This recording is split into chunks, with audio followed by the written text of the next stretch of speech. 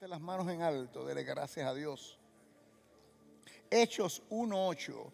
Aquí voy a empezar para dar la base de esto. Jesucristo antes de subir al cielo, ya lo hablamos todo esto la semana pasada, le dijo a los discípulos que no se fueran de Jerusalén y que esperaran, y que esperaran que la promesa, y la promesa era que le iba a enviar al Espíritu Santo y su unción sobre la iglesia, y iban a recibir poder para ser sus testigos. En otras palabras, representarlos a Él. Voy a utilizarlos a ustedes, van a ser mis testigos. ¿Para qué? Para que representen el reino. Y quiero empoderarlos. Cuando el Espíritu Santo caiga sobre vosotros, van a ser empoderados. Para yo poder. Acuérdate que el empoderamiento, pensamos, vamos a ser empoderados para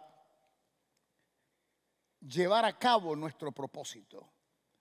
Y entonces, claramente, a veces, bueno, pero usted es pastor, pero tú eres carpintero, tú eres abogado, tú eres lo que sea. El punto, la zona donde Dios te ha colocado, ahí está tu propósito. Porque tú no sabes si le vas a hablar a una persona, a un muchacho que se va a convertir en el evangelista más grande de los tiempos. ¿Tú me entiendes? Todos tenemos un propósito y ni sabemos a veces nuestra obra y nuestro trabajo que está produciendo. Yo tengo, yo no sé aquí Mira, vienen tiempos delicados. Pero yo te estoy diciendo, y no sé cuántos de ustedes van a ser. Dios va a suplirnos a todos si le creemos, pero algunos de ustedes van a ser millonarios. Van a ser millonarios. Ay, Dios le oiga. No tú no vas a ser, por decir Dios le oiga. El que dijo, gracias Señor, ese es el que va a ser millonario. Porque tú tienes que creer lo que Dios dice el Dios le oye y la sonrisita y la cuestión, te quedaste pelado con tu sonrisita. Ah, yo sé. ¿Por qué? Porque no hay fe. La fe es el activador de lo que Dios dice. Y te estoy diciendo, algunos de ustedes Dios me está diciendo que van a ser millonarios. Lo vengo diciendo. Lo vengo diciendo. Ahora lo vienes tú creyendo. Lo vienes tú creyendo. Y no puedes, hombre, y como siempre te digo, no puedes permitir que tu presente dicte tu futuro. ¿Por qué? Porque si estás pelado hoy, te va a costar trabajo pensar que vas a ser millonario. Por eso viene la sonrisita, porque no lo puedes creer. Te gustaría, te gustaría, como a toda la gente enferma le gustaría sanarse. Pero se recuerdan lo que el médico le dijo se recuerdan de los papeles de los análisis de sangre, se recuerdan de los rayos X y aunque le gustaría estar sano y creen que Dios lo puede sanar, creen que Dios podría sanarlo, no se sanan. Porque es muy fuerte las evidencias naturales. Y si tú estás pelado hoy, es muy fuerte esa evidencia natural para tú creer que vas a ser millonario. Tú tienes que creer que Dios sabe más que tú y que lo que está pasando. Un aplauso.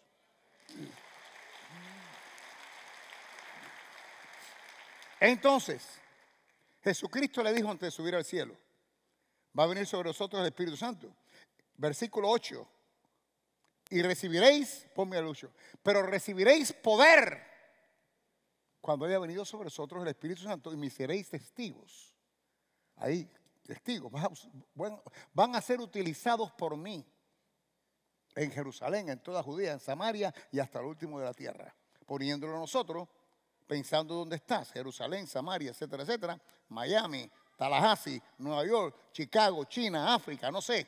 Pero hay gente que, se emocionan cuando reciben a Cristo y quieren ir a África, porque creen que es mejor estar entre los leones.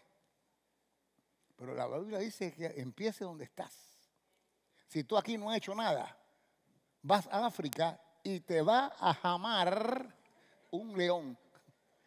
Los argentinos dicen morfar. Te, va a comer un león, lo que te quiero decir. ¿Por qué? Porque tú crees emocionalmente que yendo a África vas a convencer a los leones. Eso quiere decir que no te lances emocionalmente. Ve por la palabra. Si tú estás en esta iglesia y tú todavía no has movido una silla cuando se necesite, ¿Cómo tú harás emoción? ¿Quieres ir para allá? ¿Quieres ir para allá? ¿Quieres salvar gente? Empieza por donde estés. Porque este es tu Jerusalén. Levanta las manos en alto que Dios te dé sabiduría. Porque necesitamos sabiduría para poder desarrollarnos a lo que Dios tiene para nosotros. Lo que Dios tiene para nosotros. Entonces, voy, voy a utilizarte, dice el Señor, cuando recibas el poder. Porque Dios nos va a empoderar. Esa es la situación. Dios nos empodera. Cuando el Espíritu Santo cae sobre la iglesia, el día de Pentecostés comienza la iglesia. Hay un empoderamiento o fortalecimiento de la iglesia que comienza para representar a Cristo, para ser utilizada. Ahora bien, la iglesia es empoderada. ¿Quién es la iglesia? ¿Y quién es nosotros? Yo, y yo. Ese es el problema. Nosotros no podemos seguir, y lo sigo diciendo cada rato, no podemos seguir usando el plural, porque el plural son mucha gente. Aunque es correcto, Dios empodera a la iglesia. ¿Y quién es la iglesia? Nosotros. Pero en eso no te resuelve. Tú tienes que sacarte de ahí, de nosotros, y decir, pero es que nosotros soy yo. Dios me empodera a mí y me fortalece para desarrollar mi propósito en la tierra. ¿Y ahora qué quiere decir fortalecimiento? Dios te empodera y te fortalece. Pero entonces estamos pensando que Dios nos fortalece nada más para cuando yo hable con el vecino reciba a Cristo.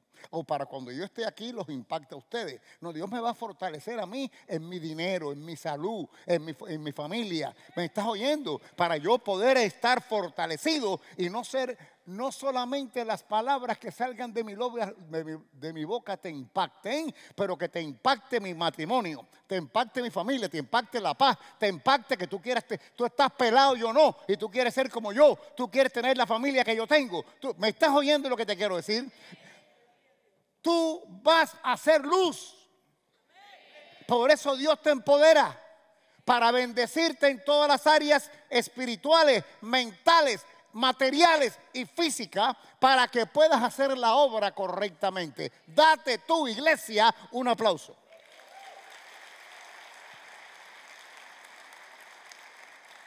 Mira lo que dice segundo de Corintios 5. Ponme segundo de Corintios 5, 20. Ah, la primera parte. Así que somos, ¿qué cosa ahí? En nombre de Cristo. Así que somos embajadores en nombre de Cristo. Quiere decir que estoy representando el reino de Dios. Cristo es el rey del reino. Yo soy embajador y tú eres embajador del reino de Dios en la tierra. ¿Me están atendiendo lo que digo? Entonces, tenemos que recibir revelación en todo. Tú reconoces esto, estás representando el reino, Dios te empodera para esto, etc. Pero dice la Biblia que soy embajador. ¿Sabes lo que es un embajador? Un diplomático. Quiere decir que yo tengo inmunidad diplomática. Tienes que recibir la revelación de esto. Porque el embajador de cualquier país, cuando venga a este país, o vaya a un país que no sea el de él, tiene inmunidad diplomática. No puede ser tocado en ese país. ¿Hasta dónde puedes tú creer? He dicho que hasta dónde puedes tú creer. Porque si tú crees eso, que tú eres embajador, porque la Biblia lo dice, y un embajador es un diplomático con inmunidad en ese país, Tú tienes que creer que nada de lo que esté pasando aquí te puede tocar ni a ti ni a tus hijos. No importa las leyes que saque quien tú sabes, ni lo que quieran hacer para quitarte la potestad y el poder sobre tus hijos no importa lo que pase con la inflación, no importa con lo que pase, con lo que pase, tú estás inmune porque tú eres del reino de Dios. Wow. Pero depende hasta dónde puedes tú creer. Bueno, yo, te quedaste en el bueno yo. Bueno, yo creo, bueno, yo no, no, gloria a Dios, gracias Señor, soy lo que tú dices que yo soy. Yo soy lo que tú dices que yo soy y yo tengo lo que tú dices que yo tengo. Díganlo, yo soy lo que Dios dice que yo soy y yo tengo lo que Dios dice que yo tengo. Amén. En este momento estoy creyendo y seguiré creyendo que tengo inmunidad diplomática porque soy representante del reino de Dios en la tierra. Oh, date un aplauso, embajador. Embajadora. Aquí el punto no es solo lo que Dios diga. El punto aquí es creer lo que Dios diga. Porque si nada más que es nada más que es lo que Dios diga, ay, qué lindo, qué bonito, mire lo que Dios dice. Eso, eso y unos 50 te toma un café con bueno en la carreta. No es lo que Dios diga si tú no lo crees. La Biblia me enseña que la fe en la palabra la activa la palabra. Lo que Dios dice de ti se activa tú creyéndolo. Tan simple como eso, sí. Es tan simple como eso, pero no es fácil. Porque hay mucha fuerza en las evidencias naturales. Como dije ahorita, Dios me dijo a mí, me puso rápidamente, me lo está poniendo con frecuencia, diciéndole al pueblo que me escucha y que me ve, etcétera, etcétera, que algunos de ustedes pronto van a ser millonarios. Pero la evidencia es que algunos de ustedes están pelados. Y como están pelados, le cuesta creer en mis palabras. Entonces, para ti no es. ¿Quién lo cree aquí? Pero tienes que empujarte a creer, no solo aquí cuando todo. Aquí hay una atmósfera que puedes creer como ya Porque estoy aquí para empujarte. Estoy aquí como un sargento. ¿Comprende? En entrenamiento, un ejército. Estoy aquí para empujarte a que eche para adelante, a que siga. Pero cuando llegue allá afuera no hay quien te empuje. Tienes que empujarte tú solo. Así que Cristo promete que su iglesia va a ser empoderada y fortalecida para representar el reino. Gloria a Dios. Porque realmente lo que Él está empoderando es tu propósito.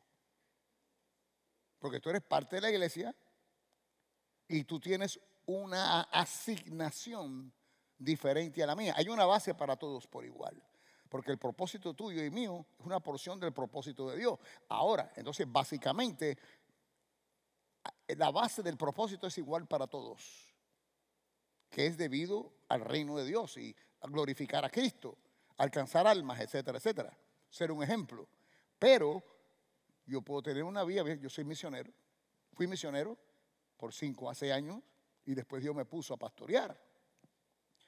Yo no sé lo que Dios tiene para ti, dónde Dios te ha colocado, qué zona tú tienes. Pero el empoderamiento es para empoderar tu propósito para lo que Él te quiere que tú hagas, lo hagas con eficacia y puedas tú ser un ejemplo en todas las áreas. En todas las áreas. ¿Me están siguiendo lo que estoy hablando? Tremendo, tremendo, tremendo. Así que fortalece nuestra salud, nuestro dinero, nuestra paz, nuestra sabiduría. Digan gracias Señor, porque fortaleces mi sabiduría. mira, el discernimiento es parte de tu sabiduría. Qué tremendo poder discernir los caminos a tomar. Qué tremendo el poder discernir quién aquellos que están a tu alrededor tienen que ser extirpados y quién otros deben ser abrazados. ¿Me siguen lo que digo? Claramente, todas estas cosas y todo este avance en nosotros está basado en poder controlar nuestras emociones. Porque a veces el amigo que más mal nos hace es el amigo más sensible que tenemos por los años que lo conocemos. Lo conozco hace tanto tiempo. Es como familia mía, pero es un tipo negativo, es un tipo adverso, es un marihuanero. ¿Me entiendes? Tiene un montón de cosas negativas que me hacen daño. Con el dolor de mi alma tengo que estirparlo. O por lo menos semi-estirparlo no le corto las dos piernas, nada más que una. ¿Me entiendes lo que te quiero decir? no lo corto completamente de mi vida, pero porción de nuestra conexión tiene que ser cortada. Porque yo estoy llamado a continuar adelante de acuerdo al plan que Dios tiene para mí. Y si tú no comprendes ni tan siquiera el plan que Dios tiene para ti y estás totalmente desviado en tu negativismo y tu falta y tu incredulidad, etcétera, etcétera, hombre, no quiere decir que yo no te voy a saludar y si tú me necesitas yo no voy a estar, pero esa amistad constante, como la he tenido contigo por tantos años, no lo puedo tener.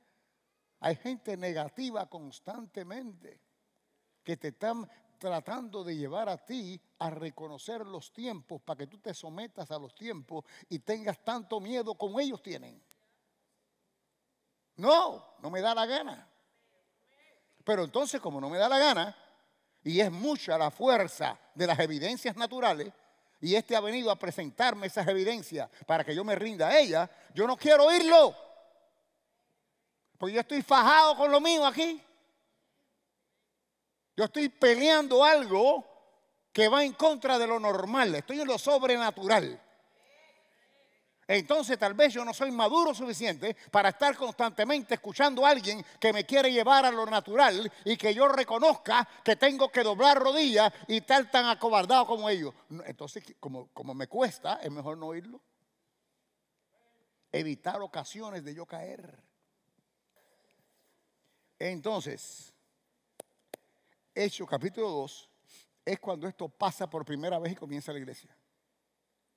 Cuando llegó el día de Pentecostés, el versículo 1 del capítulo 2 de, de, Hechos, cuando llegó el día de Pentecostés estaban todos unánimes juntos.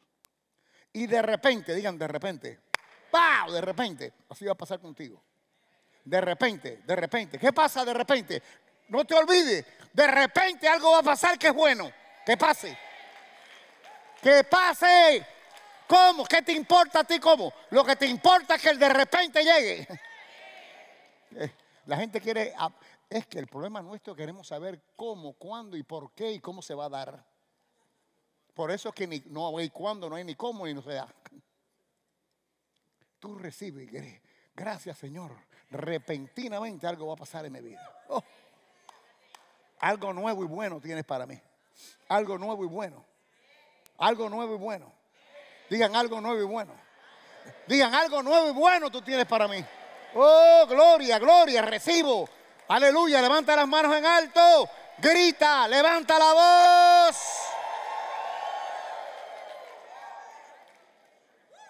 Cuidado conmigo, gloria a Dios.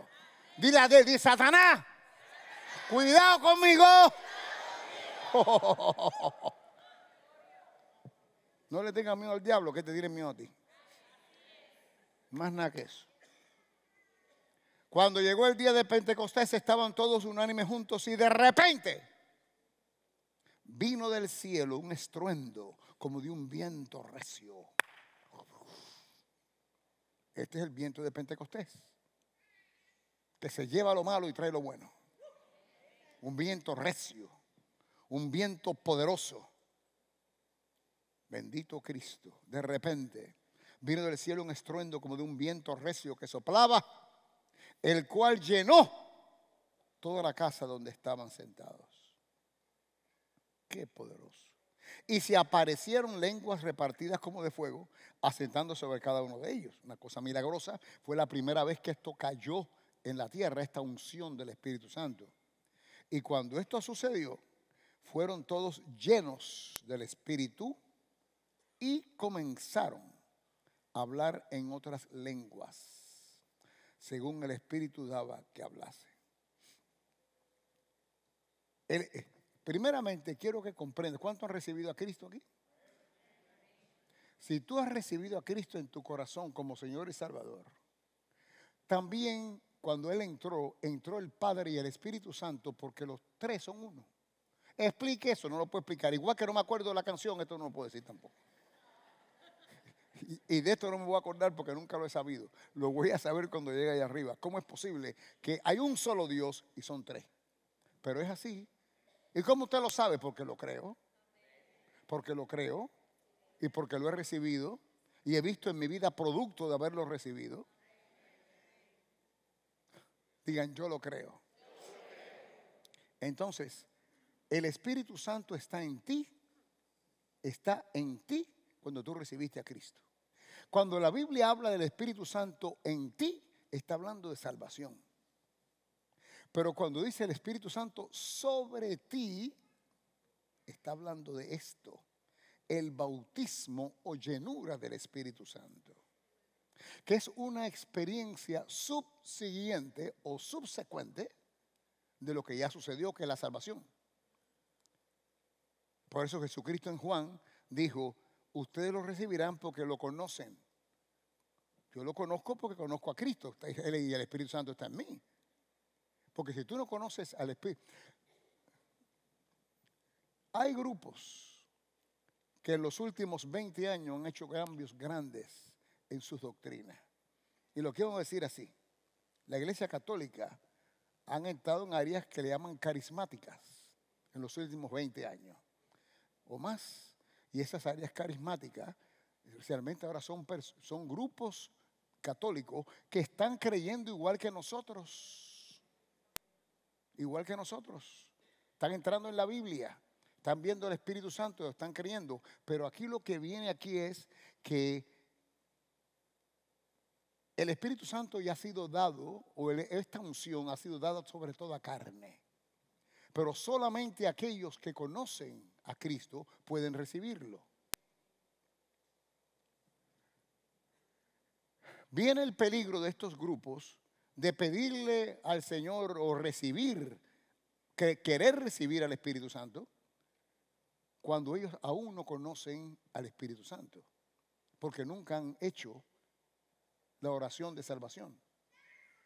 Y al no, el no ellos tener la salvación de Cristo en ellos, no pueden pedir que el Espíritu Santo venga sobre ellos, porque se le va a meter un demonio con gran posibilidad. Porque aquí la base es que tú puedes recibir el Espíritu Santo porque ya lo conoces. ¿Cómo es que lo conozco? Cuando recibí a Cristo, Él entró. ¿Me siguen? Pero si yo no estoy bajo la doctrina de que tengo que nacer de nuevo,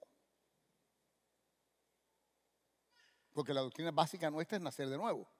Nacer de nuevo, eh, de Juan capítulo 3, con Nicodemos, que Jesús le dice que tienen que nacer de nuevo. Tienen que nacer de nuevo es realmente ser nacido y recibido en la familia divina. Él entrando en nosotros. Si eso no ha sucedido, estamos en alto peligro recibiéndole o pidiéndole a Dios que nos mande el Espíritu Santo. Porque algo se va a colar si tú abres. Algo se cuela si tú abres, porque tú tienes libre albedrío de abrir o cerrar. Y cuando tú te abres a recibir, tienes que asegurarte que vas a recibir de acuerdo como la Biblia establece en todos los puntos. Cuando el día de Pentecostés estaban todos unánimes juntos y de repente vino del cielo un estruendo como un viento recio, eh, salto al versículo 4, y fueron todos llenos del Espíritu Santo y fueron llenos del Espíritu Santo y, quiere decir, producto de, y comenzaron todos a hablar en otras lenguas, según el Espíritu les, les, daba que hablasen. Así que aparentemente las lenguas es evidencia de que hemos recibido el bautismo del Espíritu Santo. Si no hablas en lengua, no has recibido el bautismo del Espíritu Santo. La gente dice, no, no, yo estoy lleno del Espíritu Santo. No, no lo estás. Has recibido al Espíritu Santo a través de Cristo.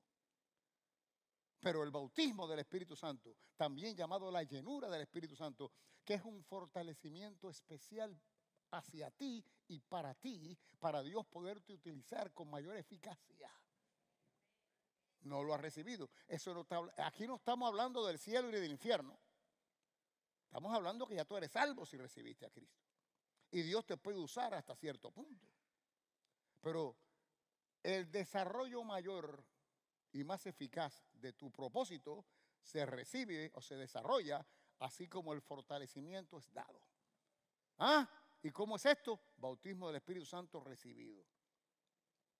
Esto no es una cosa de una sola vez. Esto es una situación de que este viento sigue soplando y bendiciendo y fortaleciendo. ¿Me estás oyendo? Sigue soplando, sigue soplando. La gente se esconde en su incredulidad basada en lo que ellos piensan que no pueden recibir o que no, o no saben cómo recibirlo. Entonces un pastor que tiene una iglesia grande, predica salvación, etcétera, etcétera, tremendo todo, pero tú sabes que se para y diga, bueno, mira, la Biblia dice que hay que recibir el bautismo del Espíritu Santo, es así, hay que hablar en lengua, y yo no lo he recibido.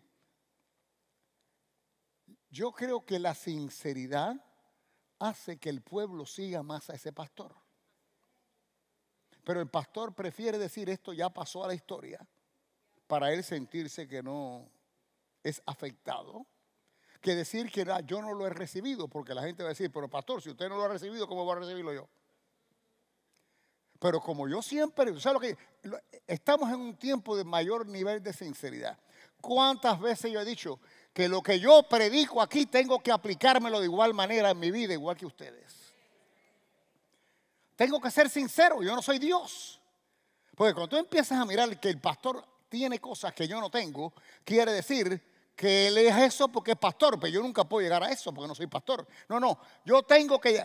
Hay cosas en la Biblia que yo enseño que tal vez hay personas aquí que lo han alcanzado mayor que yo y mejor que yo. Y hay cosas que yo he alcanzado mejor que ustedes. Yo lo que sí sé, que yo sé más que ustedes, porque estoy parado aquí y ustedes están sentados ahí. Pero porque sepa mano quiere decir que he alcanzado más. Yo tengo que aplicar mis enseñanzas a mi vida, igual que tú tienes que aplicar mis enseñanzas a tu vida. Dale un aplauso a Cristo.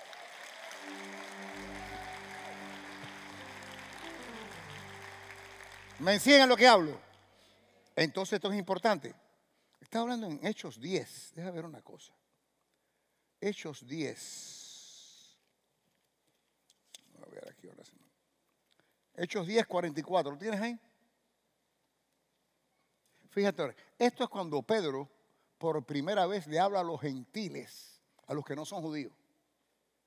Pedro va a Cornelio, que era un centurión, era un soldado de alto rango de, Roma, y entonces él, eh, eh, eh, Cornelio reúne a su familia, a sus criados, y Pedro va y les predica de Jesucristo. Le predica, y dice aquí, mientras aún hablaba Pedro estas palabras, el Espíritu Santo cayó sobre todos los que oían el discurso. Y los fieles de la circuncisión, los judíos, que habían venido con Pedro, se quedaron atónitos de que también sobre los gentiles se, derramase el don del Espíritu Santo. Continúa. Porque le oía que hablaban en lenguas y que magnificaban a Dios. Estos no eran apóstoles, estos ni tan siquiera, estos acaban de recibir a Cristo. Cuando Pedro estaba hablando, ellos recibieron a Cristo impactados por lo que ahora conocían el milagro de la cruz. Así que no tenían ni días de creyente y el Espíritu Santo cayó sobre ellos. Así que decir que esto era nada más que para los apóstoles. Bueno, esta gente no era ni nada, ni servían en la iglesia. Acababan de recibir a Cristo. Así que esto es para todos. Aquellos que ya hayan conocido a Cristo en su corazón pueden ser fortalecidos con esto. El hablar en lengua es un tipo de oración. Porque la oración es hablarle a Dios. ¿Correcto? Entonces, el hablar en lengua, no solo, bueno, hay un par de cosas que suceden. Una que le hablas a Dios. Nadie lo entiende, aunque por el Espíritu habla misterios. ¿Qué quiere decir que por el Espíritu habla misterios? No sé lo que estoy hablando. Cuando tú hablas en lengua, no sé lo que estoy hablando, son misterios.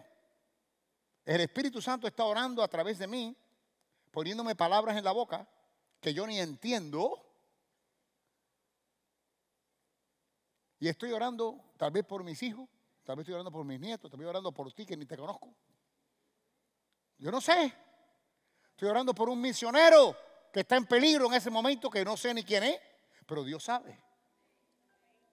Así que el hablar en lenguas es hablarle a Dios, una oración con Dios, pero lo cual yo son misterios. El apóstol Pablo dice, versículo 5 del capítulo 14. Así que quisiera que todos, digan todos, ¿quiénes son todos? Nosotros, todos nosotros. Así que quisiera que todos vosotros habléis, habléis, hablaseis en lenguas. Quisiera que todos vosotros hablaseis en lengua. Cada después dicen, más me gustaría que profetizaran, pero son dos cosas diferentes. Quisiera que todos vosotros hablaseis en lengua. Entonces, dice el versículo 18, doy gracias a Dios que hablo en lenguas más que todos vosotros. Lo que le estoy dejando ver es la importancia de hablar en lengua y que es para nosotros. Estas son cosas espirituales. Estas son cosas espirituales. Pero como todo lo espiritual, para que tenga algún efecto en tu vida natural, tienes que creerlo. Y si lo crees, tienes que actuarlo. Entonces dice, bueno, pero ¿cómo se recibe el bautismo del Espíritu Santo? ¿Cómo lo puedo recibir? La gente está esperando. Hay quien se cae, hay quien brinca, hay quien llora y hay quien está normal. Porque este es un evento espiritual, no emocional, aunque las emociones podrían estar envueltos. Las emociones podrían estar, ser parte, podrían estar, pero es un evento espiritual, no emocional. No tienes que brincar, no tienes que caer, excepto eh, en tu espíritu haya un deseo que lo haga. Pero si no, por eso dice el, el apóstol Pablo, dice el apóstol Pablo, y vamos a terminar en el versículo 14, porque yo oro en lengua desconocida, mi espíritu ora, pero mi entendimiento, mi entendimiento, mi entendimiento queda sin fruto. No sé lo que estoy hablando, no sé lo que estoy diciendo. Es mi espíritu orando, pero mi, yo no sé, mi, mi mente no capta, porque yo no sé lo que es. ¿Qué pues? Oraré con el espíritu, pero oraré también con el entendimiento. Me está diciendo aquí que de igual manera que Él ora con el entendimiento, Él ora en el Espíritu. ¿Cómo tú oras con el entendimiento?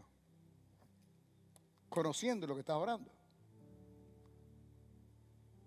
¿Cómo tú oras en el Espíritu? Cuando no sabes lo que estás orando, lo que quieres, lo que me está dando. Entonces esto traba a la gente. Pero cuando yo oro con el entendimiento, yo oro cuando a mí me dé la gana. Porque si tú, ¿cuántos oran aquí o deben orar antes de comer? Y oramos con el entendimiento, dar gracias por la comida. Si tú entonces vas a orar y te quedas esperando una inspiración, se te enfría la comida. Porque tú oras con el entendimiento cuando tú quieras orar.